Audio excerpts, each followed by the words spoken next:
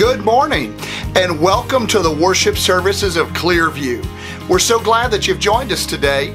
I've got just a few announcements to keep all of us in the loop.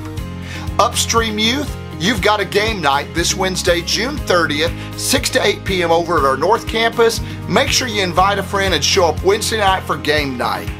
Now, Upstream Youth, all of you that are going to camp, you need to get your t-shirt sizes to the floods. I need you to do that today.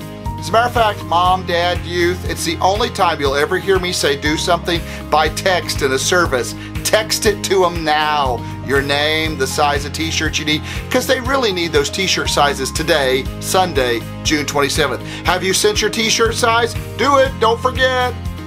And then we want to know if you would like to help us feed a camper.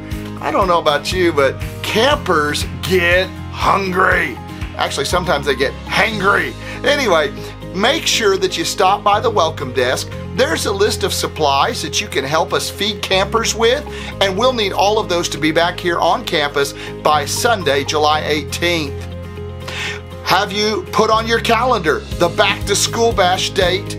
Have you? We need you to save the date, calling all volunteers. This is one of the biggest outreach events that Clearview does every year, and we want your help. So make sure you save the date, August 12th, for our back to school bash.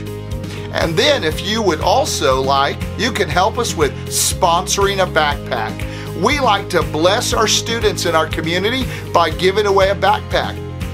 And so, if you would like, you could sponsor a backpack for only $10 and you could put that in an envelope and mark it back to school bash. You can include it in your offering and then just mark your envelope that accordingly that you want so much to go to the back to school bash. You can hand Miss Tammy or someone at the welcome desk money.